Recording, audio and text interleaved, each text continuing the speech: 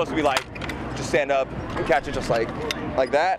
But uh, we didn't do it out here today. We haven't rehearsed it. Although it may seem like fun and games, the technology and equipment used here for entertainment is used here for the warfighter. Some of the technologies you see today started in the Army. Uh, again, when you're looking at the, uh, some as simple as a fax machine, you know, those things were developed way before they came on the civilian sector.